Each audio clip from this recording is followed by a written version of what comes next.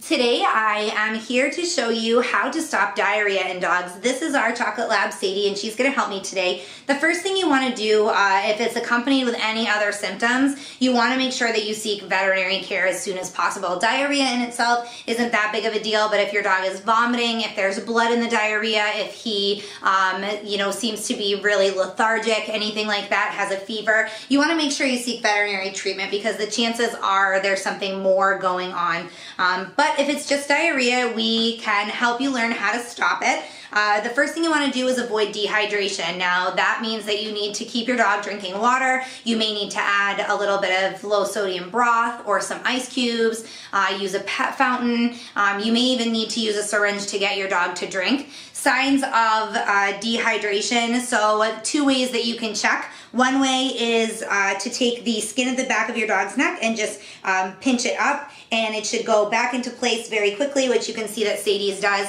If it goes back into place quickly, your dog is not dehydrated. If it goes back into place very slowly, um, almost like it's melting back into place, then your dog is becoming dehydrated. The other thing that you can do is check their gums. Sadie's are nice and pink. Now I'm gonna push on her gums and it turns white in that spot, but quickly pinks up again. That means Sadie is hydrated. Uh, if your dog's not hydrated, it will stay white for quite a while and take a few seconds to turn back to pink. You won't notice an immediate change.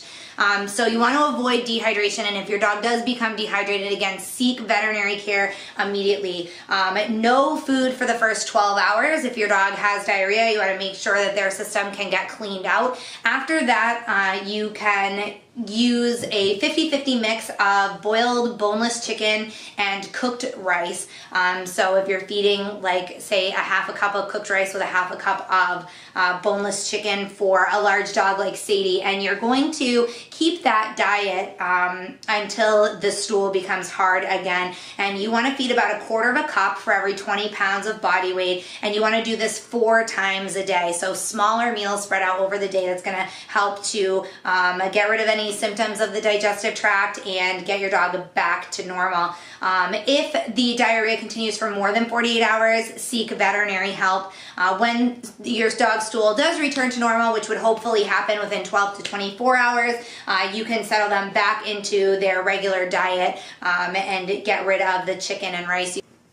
You're welcome to feed any extra chicken and rice that you might have that they haven't eaten yet. Um, you can mix that in with their kibble to just gradually get them back on that kibble diet. But once the stool returns to normal, they are fine to get back to their regular diet. If you have any questions about how to stop diarrhea in dogs, feel free to email me, Samantha at topdogtips.com. Thanks for watching this how-to guide.